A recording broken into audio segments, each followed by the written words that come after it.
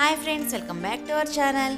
ఈరోజు వీడియోలో స్పాంజ్ దోశలను ఎలా ప్రిపేర్ చేసుకోవాలో చూపిస్తానండి. చాలా టేస్ట్గా ఉంటాయి. బియ్యం పెరుగును ఉపయోగించి మనం ఈ దోశలను ప్రిపేర్ చేసుకుంటాము. ముందుగా ఒక గిన్నెలో ఒక గ్లాస్ బియ్యం తీసుకోవాలి. మీకు కావాలంటే రేషన్ బియ్యం అయినా తీసుకోవచ్చు. మనం ఈ గ్లాస్తో బియ్యం తీసుకున్నాము. ఈ బియ్యాన్ని శుభ్రంగా కడిగేసి పక్కన పెట్టుకోవాలి. మనం ఏ గ్లాస్తో అయితే బియ్యం తీసుకున్నామో అదే గ్లాస్తో పలచని పెరుగుని తీసుకోవాలి. మీకు కావాలంటే మజ్జిగనైనా వేసుకోవచ్చండి. ఈ బియ్యాన్ని మునగార ఈ మజ్జిగని వేసుకోవాలి. మనం ఇది ఈవినింగ్ స్నాక్గా ప్రిపేర్ చేసుకుంటున్నాం కాబట్టి నైట్ పూట ఈ ప్రిపరేషన్ చేసుకోవాలి. ఇందులోనే హాఫ్ స్పూన్ మెంతులు వేసుకోవాలి. ఇది ట్వెల్వ్ అవర్స్ పాటు నానబెట్టుకోవాలి.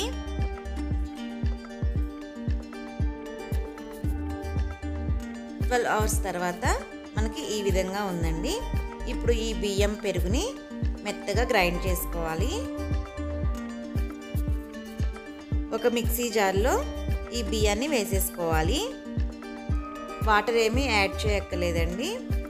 వాటర్ యాడ్ చేయకపోయిన మనకి వేసుకున్న ఈ పెరుగుతోనే మెత్తగా గ్రైండ్ అయిపోతుంది. చూసారు కదా? ఈ విధంగా మెత్తగా గ్రైండ్ చేసుకోవాలి.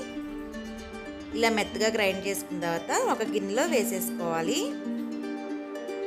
ఇందులోనే మనకి దోశ బేటర్ కన్సిస్టెన్సీలో కొద్దిగా వాటర్ వేసుకుని కలుపుకోవాలి. ఈ విధంగా ఇలా కలుపుకున్న తర్వాత ఒక సిక్స్ అవర్స్ పాటు అలా వదిలేయాలి. సిక్స్ అవర్స్ తర్వాత మనకి ఈ పిండి పులిసిందండి. ఇప్పుడు ఇందులోనే one by fourth spoon baking soda వంట సోడా వేసుకోవాలి. ఇందులోనే రుచికి సరిపడినంత సాల్ట్ వేసుకోవాలి. ఇలా ఈ విధంగా కలిపేసుకున్న తర్వాత స్టవ్ ఆన్ చేసి బాండీ పెట్టుకుని పిండిని వేసుకోవాలి. కొద్దిగా వేసుకుని ఎక్కువ స్ప్రెడ్ చేయకూడదండి. జస్ట్ అలా స్ప్రెడ్ చేస్తే సరిపోతుంది. ఈ దోశను మనం కొద్దిగా మందంగా వేసుకోవాలి. ఇలా వేసుకున్న తర్వాత వన్ స్పూన్ ఆయిల్ వేసుకోవాలి. ఈ స్పాంజ్ దోశని పెనం మీదైనా వేసుకోవచ్చండి. ఇలా బబుల్స్ వస్తున్నప్పుడు పైనుంచి మూతను పెట్టేసుకోవాలి. వన్ మినిట్ తర్వాత దోశని టర్న్ చేసుకోవాలి. చూసు కదా చాలా మంచి కలర్లో ఈ దోశ వేగిపోయింది. ఇలా దోశని తట్టుకున్న తర్వాత హాఫ్ స్పూన్ ఆయిల్ వేసుకోవాలి.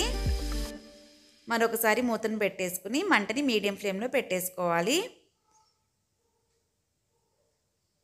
చూసారు కదా?